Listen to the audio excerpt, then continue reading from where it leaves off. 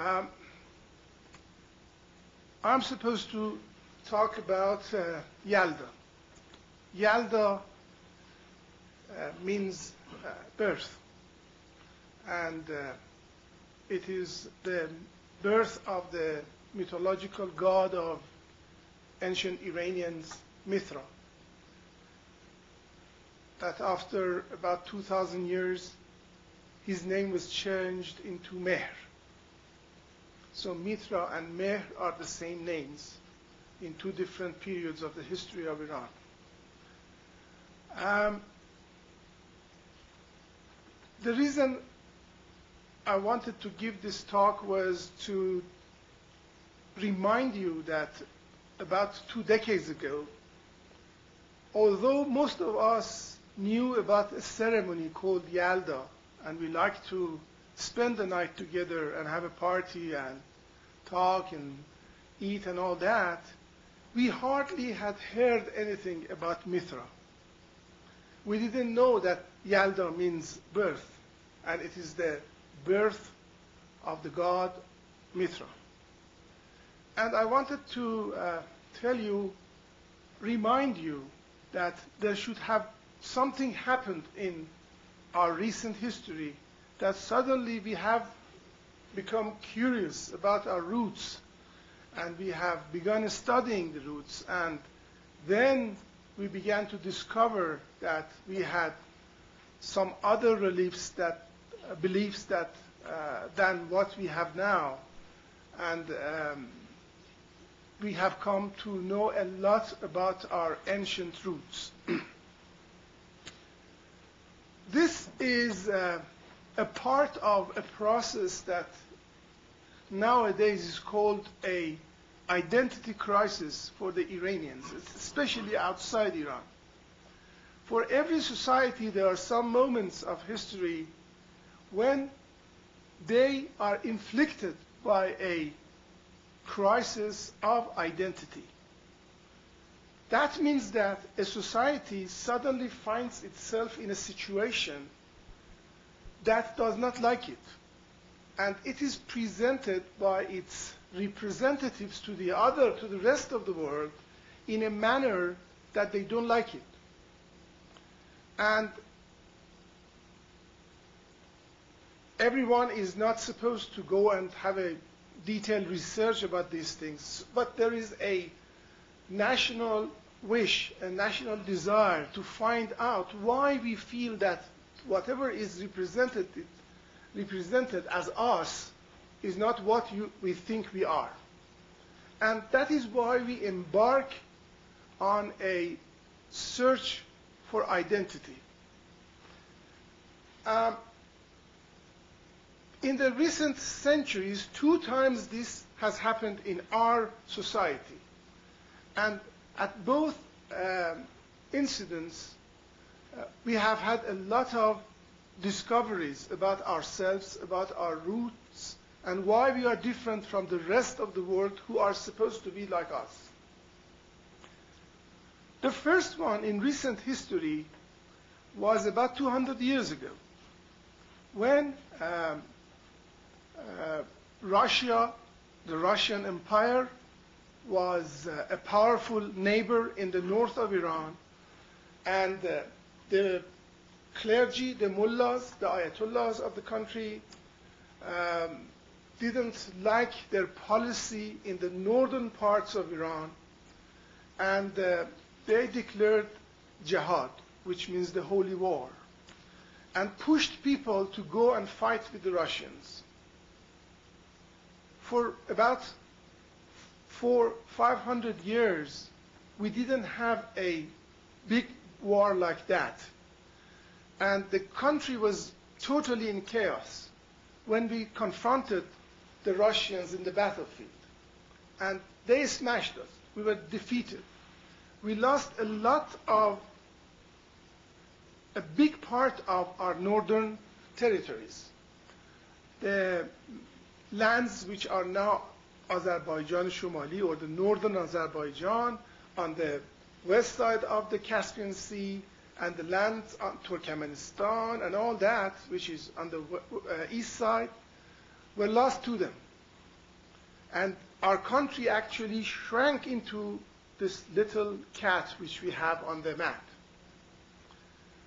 The result of that uh, war was a very fundamental psychological uh, upheaval in us. And our intellectuals began to ask why uh, uh, we, we were defeated, why we were so backward when we confronted a, an enemy uh, that has, was able to modernize itself and the, its armies and all that.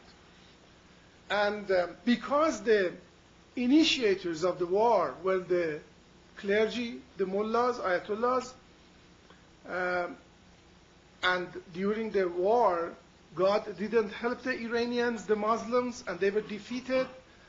There was a resentment towards them. And they began to think about uh, Islam, and um, somehow, you know, it, for, for centuries, we had totally forgotten that we were an empire, the Persian Empire, um, the most powerful empire on the earth, and um, due to some reasons which is beyond my tonight's talk, we were defeated by the Arab Muslims who invaded Iran from the south and uh, um, plundered the country and literally raped the country in every aspect and not uh, uh, only imposed their religion on us, a religion was totally different from ours.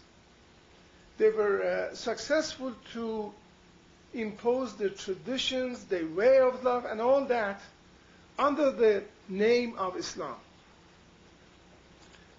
Uh, this discovery or rediscovery of a forgotten identity for us Iranian gave rise to a political movement which has been known as Constitutional Revolution of Iran, Inqilab Mashrute Iran.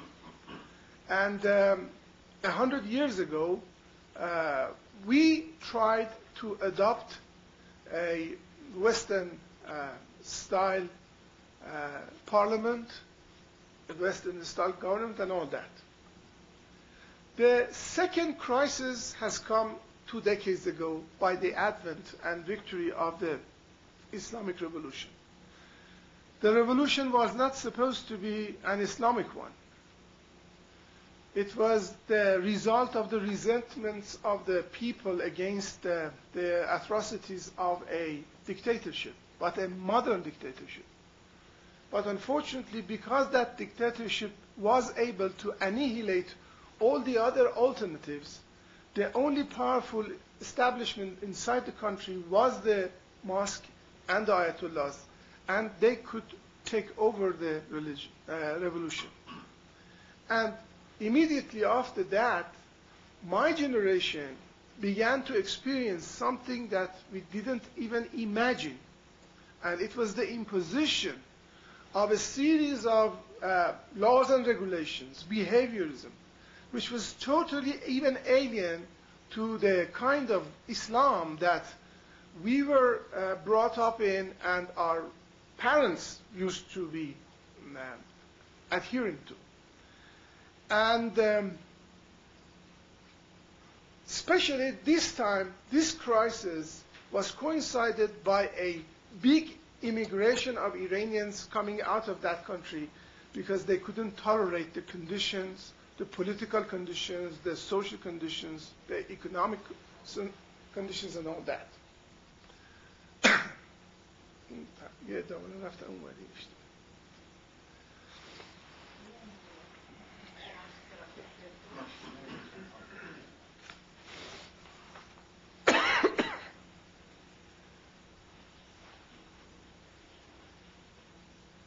And being living in uh, outside the country as an immigrant for two decades, we naturally had to uh, give way to a second generation of Iranians who are either uh, brought up here or born here. And this generation is receiving a very strange heritage from us and from the country who we belong to, which we belong to. Uh, and they have to rationalize it for the environment that they're living in. So my generation for one reason and my children's generation for the other reason, both of us are in a situation that we don't like what is being presented as Iran and Iranians. And we want to find out how we can, uh, we can prove that our identity is something different. And it is the might and force of this search for identity that has risen, that, that has given rise to our attention to things like Yalda and Charshanbe Besuri. Uh, I mean, the uh, ceremonies, rituals that are not connected to Islam, are not connected to the present government, and the present government has shown its dislike of these things. For example, this year in, I mean, the, uh, during the Charshanbe Suri, where the young people in Iran went to the streets and had celebrated the occasion, they had to put about 2,000 people in jail because they considered it as something un-Islamic. And it is really because of this un-Islamic nature of these ceremonies that they have become suddenly so popular. And I think that if we do not suffice to just throw a party and uh, have the ceremony and expand our knowledge about uh, what really these ceremonies, these rituals are about, there may be a key, a uh, solution for a lot of our problems as a nation that wants to be a full member of the civilized world and is ashamed of what is being happening in, in our country. In fact, if you look at the history of Iran since the invasion of Arabs, I mean, the history of the last 1400 years, you will see that there hasn't been a decade where there wasn't a resistance movement going on against the Arab invasion and against the Arab uh, um, prevalence over the polity of our country. A lot of names that we give to our children are witness to that claim. Names like Babak, like Afshin, each one of these names are the representative of a movement of some Iranian who have risen against the Arabs and to have an a different identity, a challenging identity, has looked back to the pre-Arab history of Iran and searched for a kind of identity there. Even within the Islamic world of Iran, the same resistance has shown itself in cultural levels, literary levels, and all that. For example, our greatest poet of all times, Ferdowsi. Ferdowsi, after um, 400 years after the invasion of Arabs, uh, when there was no way to go out of this, you know, uh, prevalence of Arabic tradition and uh, religion over Iran, he decided to go back and revive the history of pre-Islamic Iran.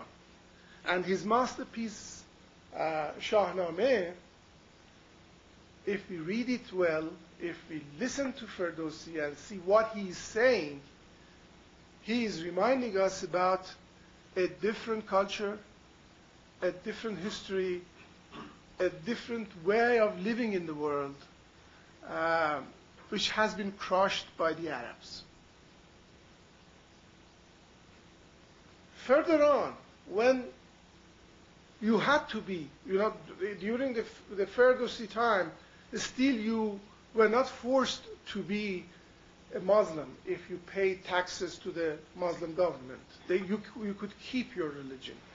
And there is a big, a fundamental belief that Ferdowsi never became a Muslim, although some Muslim writers have given him a name, Abul Qasim, and they call him Hakim Abul Qasim, but these are all uh, inventions. There is no uh, document to show that this is true. Um, and uh, there are otherwise documents which show that Ferdowsi and a lot of his entourage and the people who lived in that area of Khorasan, which is called, what, what used to be called Tus, and today we call it Mashhad, did not become Muslims till the 5th century. But after that, when we look at the works of our poets like Hafiz, Saadi, and even Maulana, who are talking in um, Muslim jargon, using the same jargon that the other Muslims are using, if we look at the essence of that, we find that, that there is something fundamental opposing the mainstream of the um, Islamic thought. What we call the real irfan, I'm not talking about khanegahs and dervishes and all that. That is something totally different. The real irfan which is advocated in Hafiz, in Molana, in Shams Tabrizi, in our great uh, mystics, mystics, is opposing to the rigid framework of Islam. And if we look at the sources of these people, these grand peoples, we see that they go back to pre-Islamic period and uh, get their um, inspirations from there.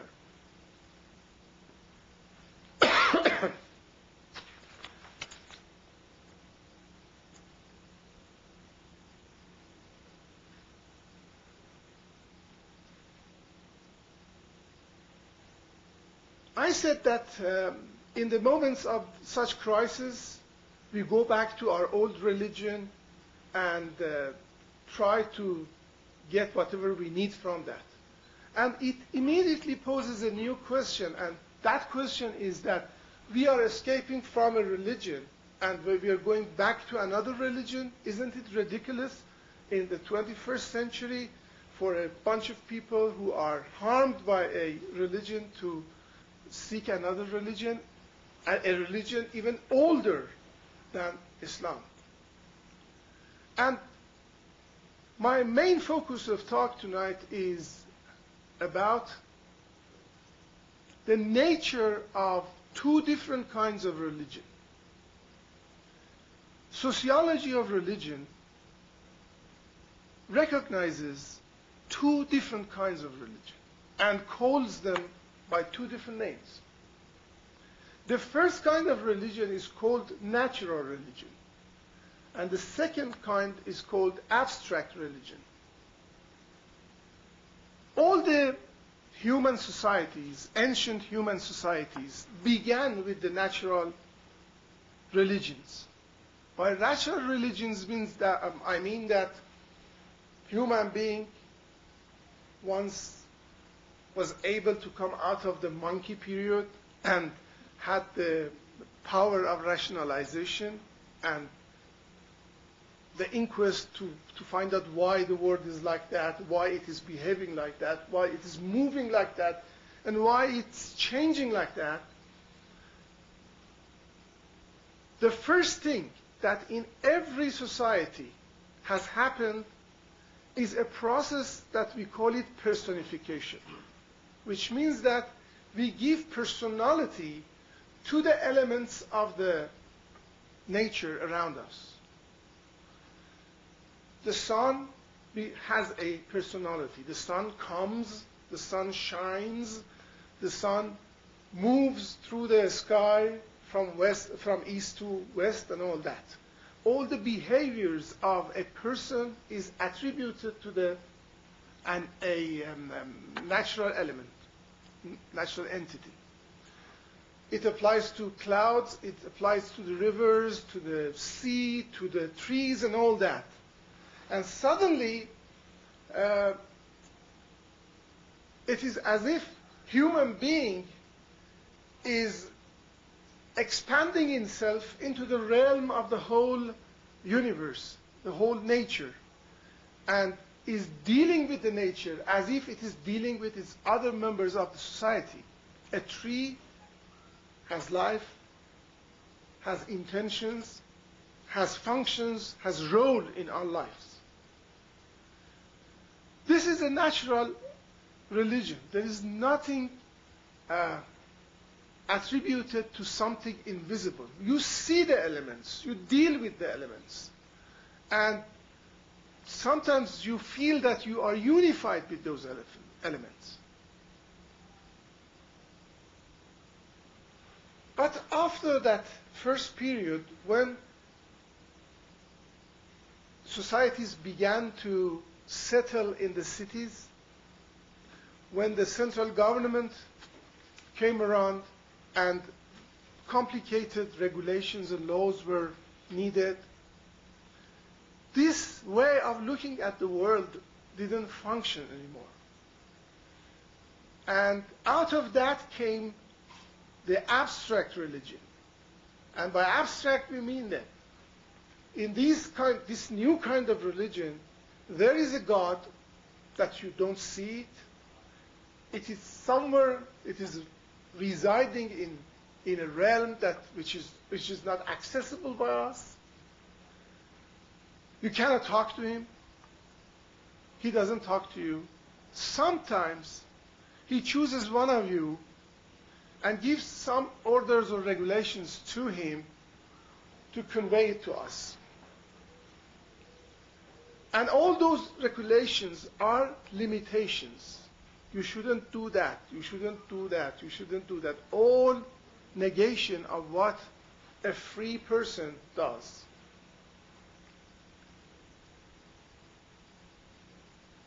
So, in every society, there is a dichotomy between the natural religion and the abstract religion.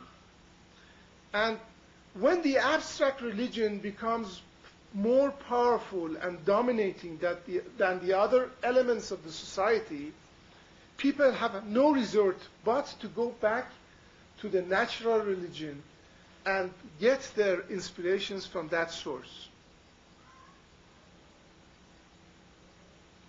The natural religion of those early tribes, 8,000 years ago, who were called Aryan tribes, Arya Iha, and who used to live in the steppes of Central Asia,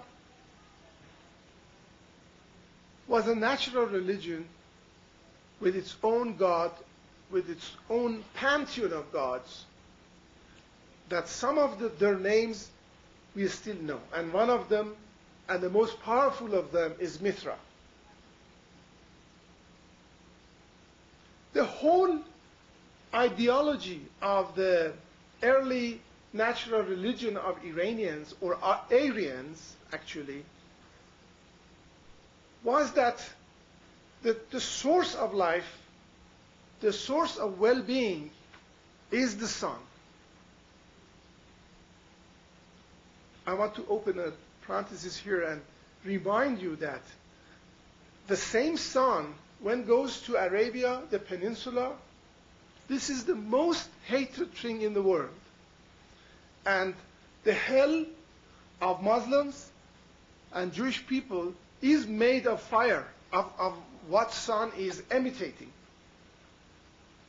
Whereas for Iranians who lived in those steppes, on the verge of cold weather, sun was the source. Sun was the best thing they could have.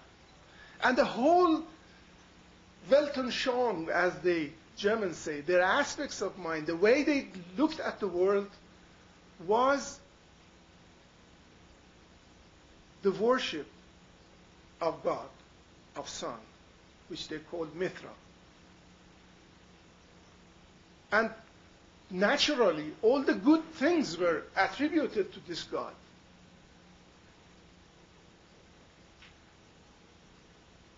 Mithra brought life. Mithra enabled an architectural society to survive. Mithra brought prosperity to the, to the Aryan tribes. For some reasons that still the scientists are working on it, and it's not clear yet, these tribes of Central Asia, 8,000 years ago, decided to disperse all over the world. And their dispersion was aimed to all four corners of the world. Some of them went to the Far East, to where China and Japan, Japanese. Some of them went to the Indian subcontinent. Some of them went to Afghanistan and Pakistan. Some of them came down from the two sides of the Caspian Sea to the Iranian plateau. Some of them went to uh, Greece. Some of them went to Central Asia. Remember Hitler claiming that he's an Aryan. Uh, and the interesting thing is, I mean, the first discoveries about this, this disbursement of Aryan tribes came when the uh, um, linguistics and archaeologists got together, put their heads together, their information together, and found out that among these people, there are certain uh, elements that they have kept after 8,000 years. And one of them is language. And if you look, if you read the history of languages and are interested in the linguistics, you will find out that there is a big branch of human languages which is called Indo-European languages. They say that there was a language up there in the Central Asia which we don't know about it too much. And all the languages of India, Afghanistan, Iran, and Europe, Latin Europe, all of them have the roots there. And the linguists have been trying to, to build up, to find out how that language worked, what was the grammar of that language, and all that. The other interesting thing about this disbursement is the reminiscence of so many rituals and beliefs. For example, Iranians and Indians, they have got a lot of common gods. One of them is Mithra. Mithra is, was worshipped by Iranians and by the Indians. The stories about these gods are still the same with little variations. One of these variations, which, is, which may be interesting to you, is the story of uh, uh, discovery of fire. We know that uh, the Aryan tribes believed that at the beginning the world was a cold dark and dense place. I remember one of the scientists uh, uh, was quoting from Sanskrit texts and saying that it is so beautifully a uh, explanation of the black hole or that, that black hole which began the Big Bang. Anyhow, the beginning of time, the beginning of life, uh, before that, it, the whole world was dense, dark, and made of stone. And it was out of that stone that Mitra was born in the longest night of the year, which is Yalda. So Mitra comes out of the out of stone, out of that. Then in Ferdowsi, when he tells us about the story of how human being discovered uh, fire, he says that fire was extracted from stone by Hushang Shah, one of the kings of the uh, mythological period of Iranian history. So Mitra comes out of the stone, and Hushang extracts the fire out of the stone. There is a uh, relationship between this stone and fire for us Iranians. and fire is a representative uh, of the sun in our culture. Some people think that Iranians are worshippers of fire, which is totally wrong. Iranians like fire and have esteem for it because it, it is a part of Mitra. It is a part of that um, uh, universal, you know, source of life.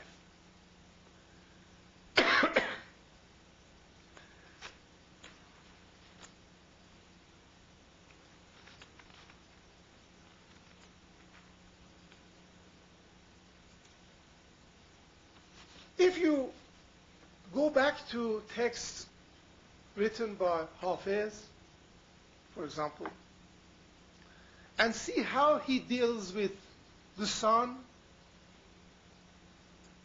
and how he uses it in a symbolic way, you will, you will hear the echo of that ancient Iranian um, belief which is absent in Arab literature.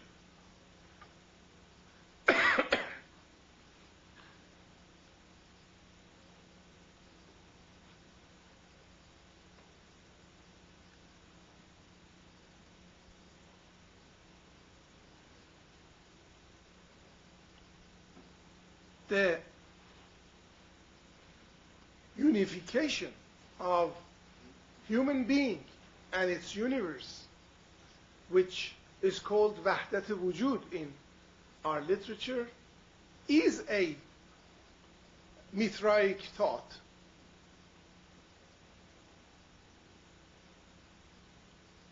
And the whole universe of Irfan in Iran is based on this.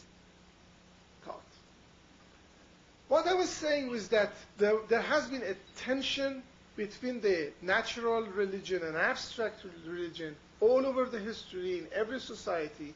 And I just wanted to remind you about our own history and tell you that uh, when the Aryan tribes, three of them were, we know definitely. One of them was, we call it the Mad Madha, Medes they call it in English, Madha, who came from the west side of uh, Caspian Sea down in the present Azerbaijan.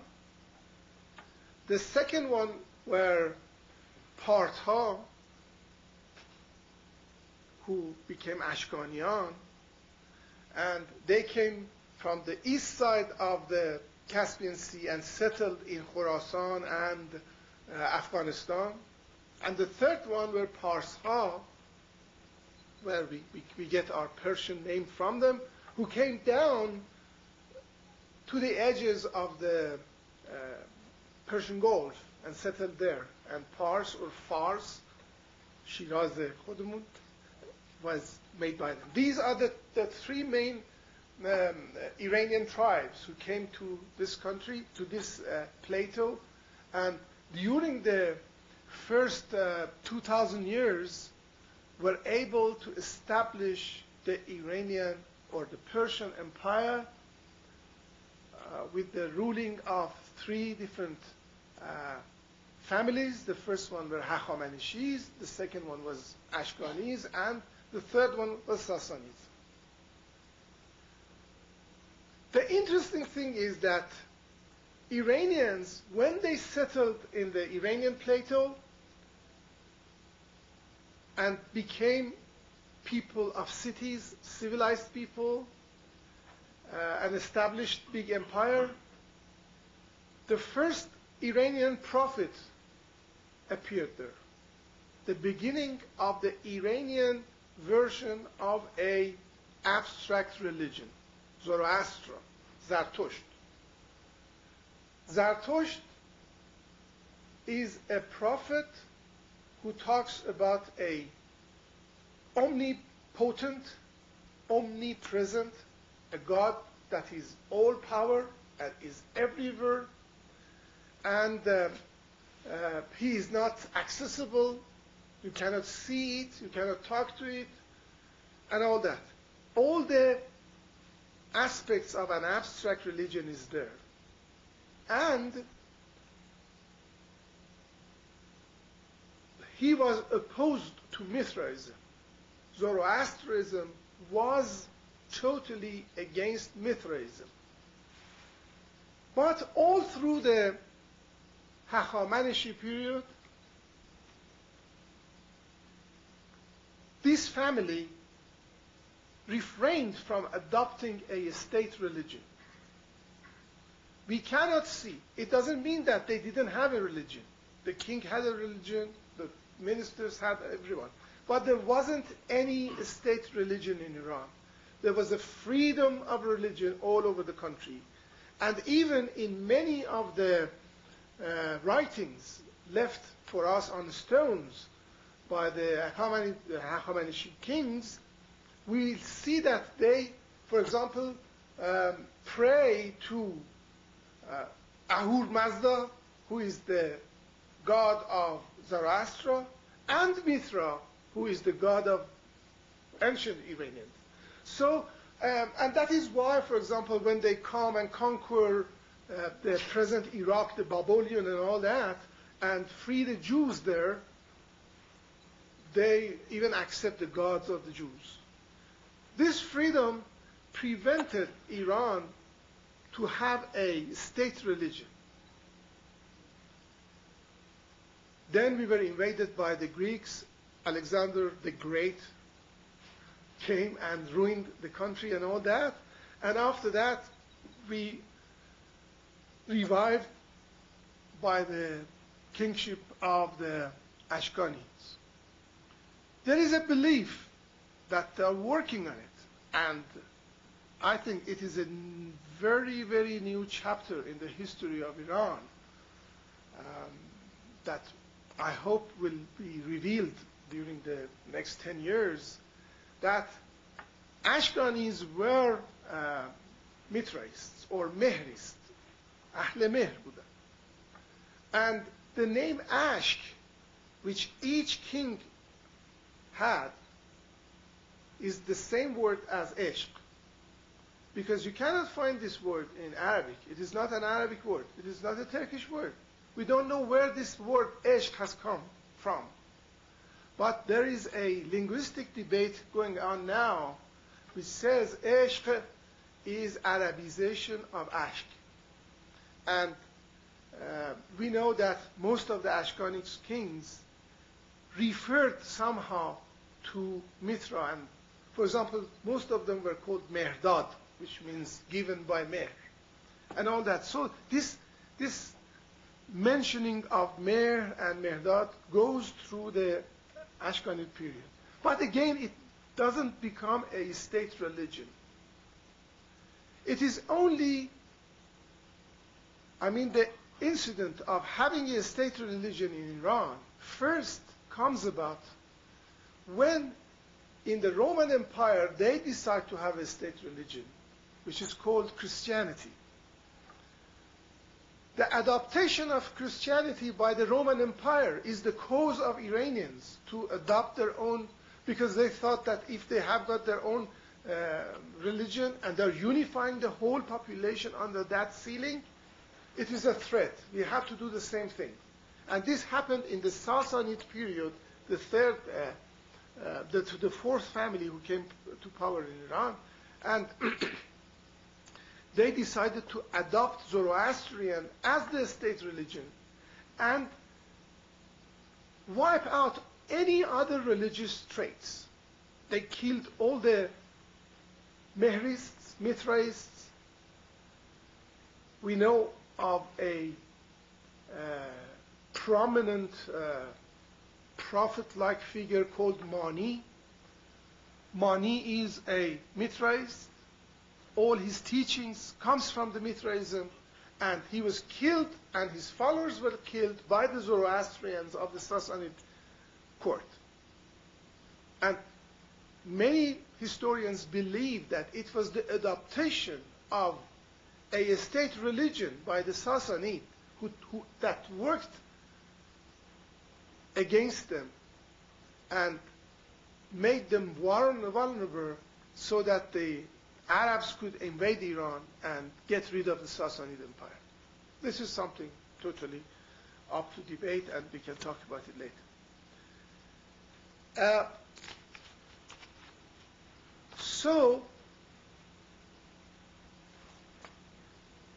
again, when, when, when the, the Islam was being adopted as the state religion of Iranian courts of Ghaznavid, Sultan Mahmud of Ghaznavi, for example, immediately we see a reaction like what Ferdowsi did, going back to the sources of ancient Iran.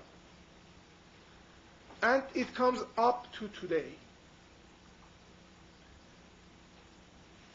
One interesting thing that I would like to end my talk tonight on that note is that how did Christianity become the state religion of the Roman Empire in the fourth century of Christian calendar? Because it directly relates to us Iranians.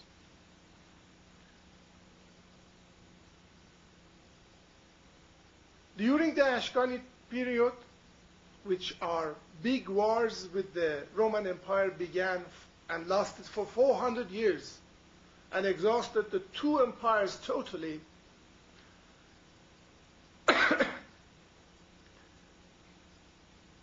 most of the ordinary people of Iran, most of the soldiers who were fighting in the battlefields were Mehris. Their, their religion was worship of Mithra. And uh, they say that Mithraism went from Iran to Rome by many ways, by sea, by land, but mostly by those soldier, Iranian soldiers who were captured in the wars and were taken to the Rome. And it was their, their beliefs was so interesting and powerful for the um, um, army of the Roman Empire that Mithraism became the uh, religion of the army in Roman Empire. Wherever they went, they made big, you know, um, worship places for Mithra, and they, they invented Mithraism according to their needs. Mithraism went from Iran to Rome, but it didn't remain the same Mithraism that it was originally in Iran. It is totally something else. Nowadays, when you go and read books about Mithraism, most of your sources refer you to the Roman Empire and tell you about so many different rituals and beliefs that was advocated and adopted in the Roman Empire period and then if you uh, think that, okay, Mithraism is from Iran, so they have adopted all of these from Iran, you're. There is a certain uh, rewriting of Mithraism in Rome. But the, the central uh, place of the sun, the Mithra, the god of sun, remains prominent and it's the worship to him and all that. Now, this happened within the barracks of the uh, Roman soldiers.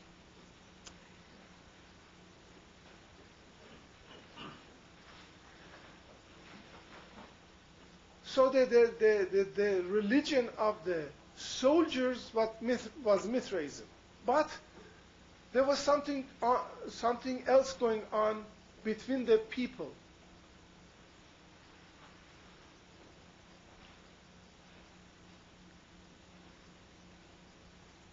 In the realm of the Roman Empire, which began from the west of Iran and covered all through Europe, there was two religions side by side.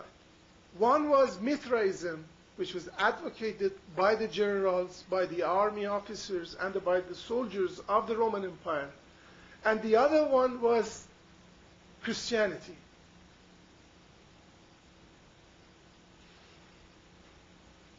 The belief in a man who is the son of the Hebrew God and he's sent to the earth for salvation of the human being, whatever we know about Christianity.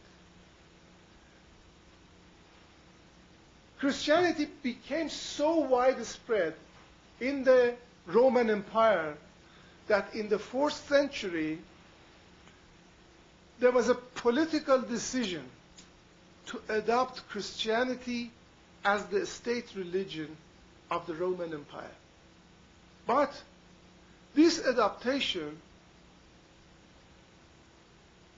had to take the army's wishes into account.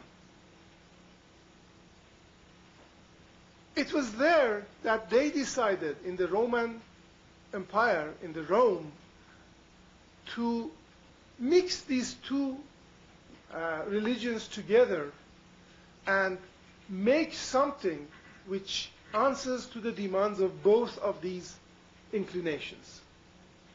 And the Christianity which was made in Rome and was advocated by the popes who were centralized in Rome was that mixture.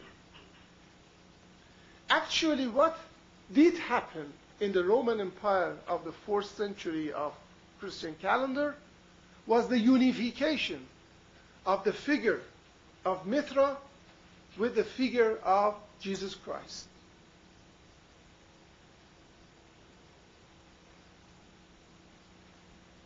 One of the prominent things that they did for this unification was to accept a date for the birth of the Christ. If you go back to the Hebrew uh, documents, uh, Jesus Christ, whoever he was, was not born in winter. But we know that for 8,000 years, or at that time for 6,000 years, Iranian believed that their God, whose name was Mithra, was born in the longest night of the year. So they, they decided to give this birth night to Christ. And by some jugular work, um, um, the calendar was uh, now has become 25th, whereas uh, originally it was 21st um, uh, of December, which is the first day of Iranian month of Dey. We call it Dey. Um, and uh, for 6,000 years, Iranian, all over the Iranian plateau, and also in the Central Asia, were uh, throwing parties, having fun at that night because their god was being born at that night. It had psychological, literary, and cultural meanings for them. If you read the Persian literature of all over history, even the Islamic period, you will see that the dichotomy between darkness and light, between night, between moon and the sun, all of that have got significant personal and social meaning. For Iranians, as soon as you open the book of Hafiz and see that he says, uh, well, don't worry, this night will go away and sun will shine again, you can interpret it, it in different levels of personal or social meanings.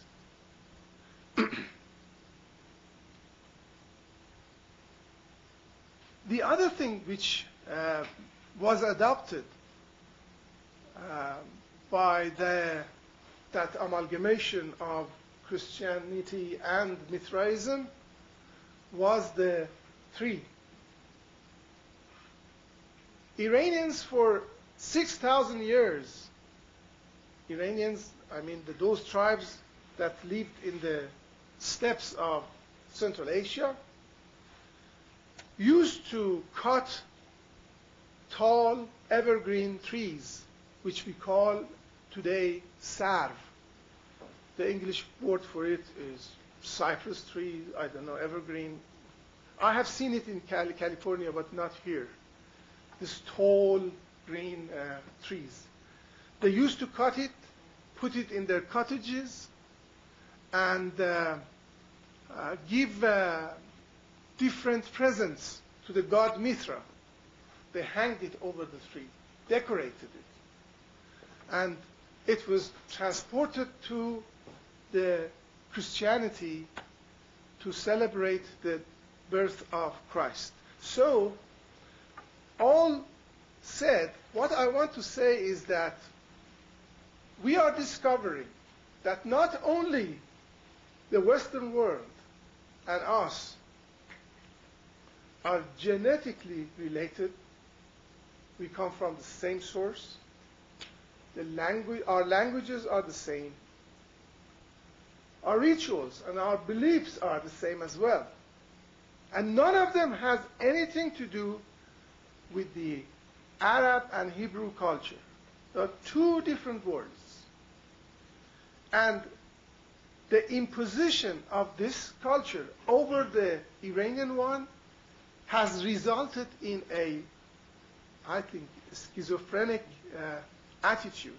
We are, we are bewildered because many of the things, as I mentioned, for example, the role of the sun in the beliefs of the Aryans and Arabs, source of life there, source of hell there.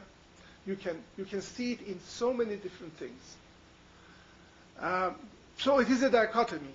And um, for us who have been able to come out of that country and we are living in the West, uh, the good news is that uh, we shouldn't feel so alien here.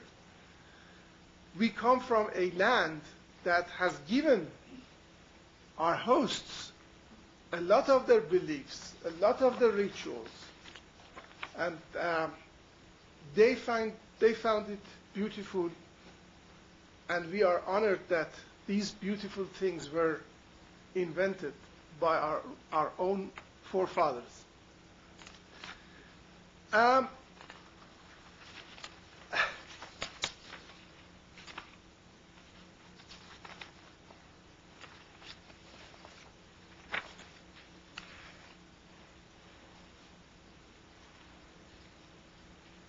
we are actually in the presence of a natural religion. We are a configuration of natural elements. A mixture of wind, earth, water, and fire. And between the two brackets of ashes, according to the Christian faith, it is the fire that symbolizes our life and well-being. Fire makes us and swallows us. And we make fire and tame it to make our life better. There is a undeniable relationship between us and fire. As though we are made of fire. And uh, let me finish uh, my talk with just one line of our great poet Hafiz, who by the magic of his poetics reverses this relationship between man and sun and uh, that cause and effect relationship which says that sun is keeping us alive in his poetry becomes reverse. He says زان آتش نهفته که در سینه من است خورشید شعله است که در آسمان گرفت out of the hidden fire in my chest. Sun is just a flame that keeps the sky ablaze. Thank you and happy and merry Yalda